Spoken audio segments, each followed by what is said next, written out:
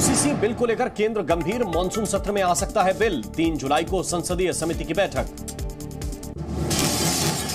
उत्तराखंड में भी समान नागरिकता संहिता को लेकर तैयारी लगभग पूरी। आज यूसीसी के लिए बनी विशेषज्ञों की समिति करेगी प्रेस कॉन्फ्रेंस। यूसीसी पर फाइनल रिपोर्ट हो सकती है पेश। पीएम मोदी के मुरीद हुए राष्ट्रपति पुतिन, मेक इन इंडिया की जमकर की तारीफ़, कहा, इकोनॉमी पर दिख रहा है असर। भारत से सैन्य रिश्तों को लेकर अमेरिका का बड़ा बयान, स्थिरता और सुरक्षा सुनिश्चित करने के लिहाज से भारत एक महत्वपूर्ण खिलाड़ी। बोले, भारत के साथ मिलकर करते रहेंगे काम। शिमला में नहीं, अब बेंगलुरु में होगी विपक्षी दलों की बैठक। 13 जुलाई को बेंगलुरु में जुटेंगे विपक्षी नेता, बीजेपी ने साधा निशाना। प्रेडेटर ड्रोन की कीमतों पर सरकार और विपक्ष में खींचतान जारी। सरकार ने विपक्ष के आरोपों को बताया निराधार, कहा गलत सूचना के चलते प्रेडेटर ड्रोन की खरीद पर उठाए सवाल। आज दिल्ली यूनिवर्सिटी के शताब्दी समारोह में शामिल होंगे प्रधानमंत्री मोदी, सुबह 11 बजे से कार्यक्रम। आज से शुरू हुई अमरनाथ यात्रा, बेस कैंप से पहला जत्था रवाना, आतंकी खतरों से निपटने के लिए सुरक्षा के पुख्ता इंतज़ाम। बारिश को लेकर मौसम विभाग ने आज जारी किया ऑरेंज अलर्ट। उत्तराखंड के कई जिलों में भारी बारिश के आसार। एमपी में अगले दो दिन तक होगी तेज बारिश। मुंबई में भी मूसलाधार बारिश होने की चेतावनी। और हम आपको दिखाते हैं राजनीति की टॉप नाइन बड़ी खबरें। राहुल के मणिपुर दौरे के बीच फिर भड़की हिंसा। तीन लोगों की हुई मौत। पुलिस ने दागे आँसू गैस की गोले। मणिपुर दौरे पर राहुल गांधी राहत ने कैंप में पीड़ितों से की मुलाकात। बिष्णुपुर में रोका गया था काफिला। बीजेपी का राहुल पर बड़ा आरोप, संबित पात्रा बोले, मणिपुर में हालात संवेदनशील, राहुल मणिपुर हिंसा पर कर रहे सियासत।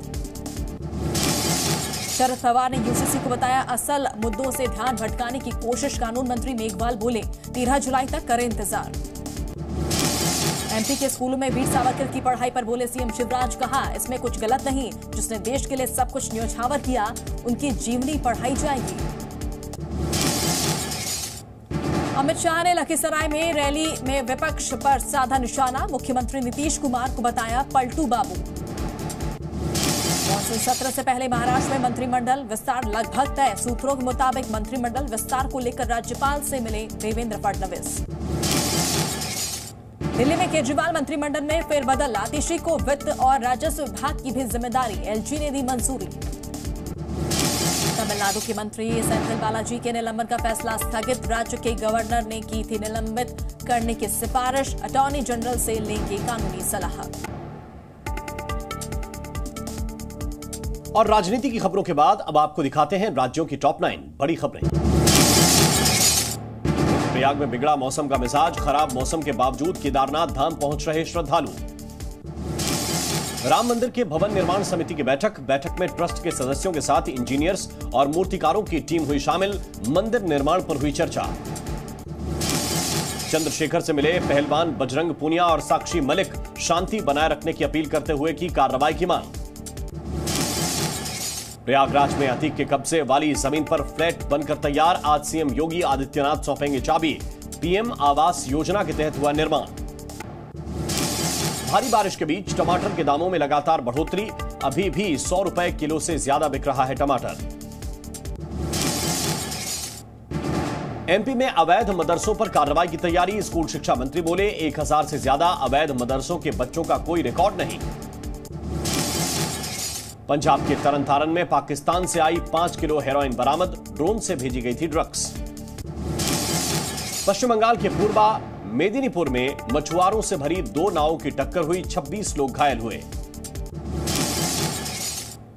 मुंबई में भारी बारिश के बीच मकान गिरा, मलबे में दबे दो लोगों को रेस्क्यू किया गया।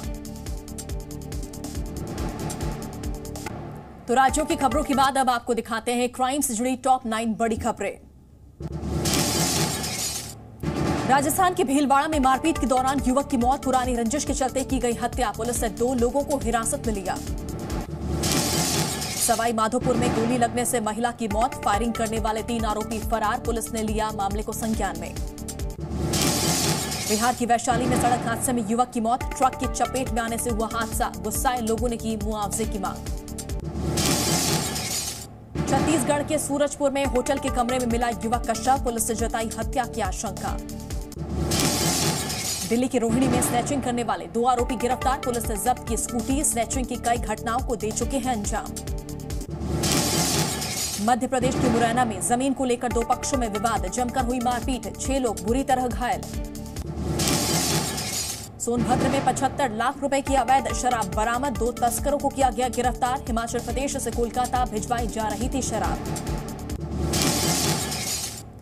छत्तीसगढ़ के दुर्ग में दो करोड़ रुपए की ठगी। आरोपी ने खुद को ईडी का ऑफिसर बताकर चावल व्यापारी को ठगा।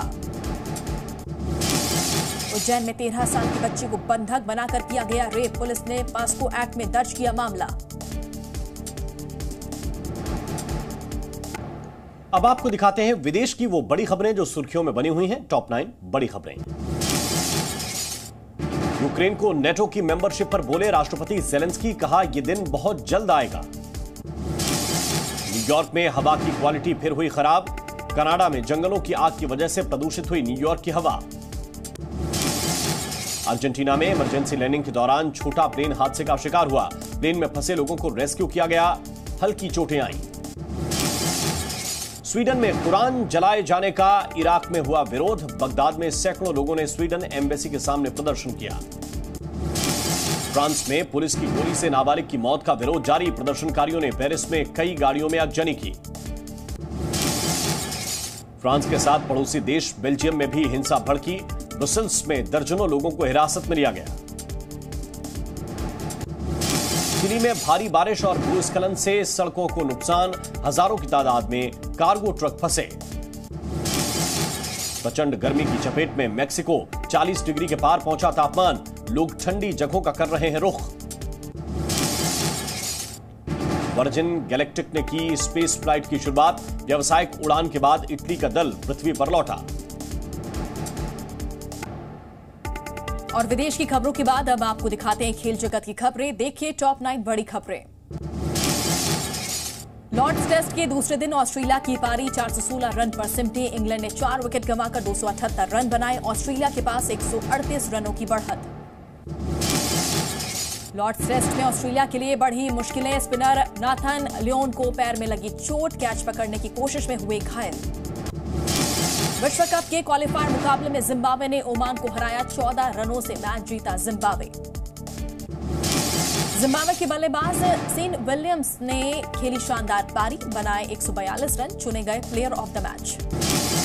Delhi Capitals से अगरकर और वॉटसन की हुई छुट्टी, खराब सीज़न के चलते उठाया कदम पेंटिंग पॉन्टिंग अगले साल ही संभालेंगे ज़िम्मेदारी। लंदन में सैर पर निकले विराट कोहली वेस्टइंडीज दौरे से पहले मिला है ब्रेक, लंदन में मना रहे छुट्टियाँ। वेस्टइंडीज टेस्ट में सौरभ गांगुली ने रहाणे को उपकप्तान बनाए जाने पर साधा निशाना। फैसले को गांगुली ने बताया बड़ी गलती, कहा चैन में होनी चाहिए निरंतरता। अहमदाबाद में भारत पाकिस्तान के वर्ल्ड कप मैच के ऐलान के बाद बड़े होटलों के दाम। 15 अक्टूबर को होगा महामुकाबला। चंद्रमुखी टू का पोस्टर किया गया जारी। 19 सितंबर को गणेश चतुर्थी पर रिलीज़ होगी फ़िल्म। सी फाइव की नई तेलुगु सिटकॉम माया बाज़ार फॉर सेल का ऐलान हुआ। 14 जुलाई को आएगी सीरीज़ जल्द शुरू हो सकती है स्त्री टू की शूटिंग सूत्रों के मुताबिक जुलाई से एमपी में शूटिंग की होगी शुरुआत। केबीसी 15 का प्रोमो वीडियो रिलीज़। इस सीज़न में अलग अंदाज में खेला जाएगा गेम। अगस्त में टीवी पर देख सकेंगे शो। अनुपम खेर ने रवि किशन की बेटी को दी बधाई। अग्निवीर बनने पर ज़ाहिर की खुशी, बोले, इशिता लाखों बच्चियों के लिए मिसाल है। इंसीडियस द रेड डोर की रिलीज़ डेट आउट हुई। 6 जुलाई को भारत में रिलीज़ होगी फ़िल्म।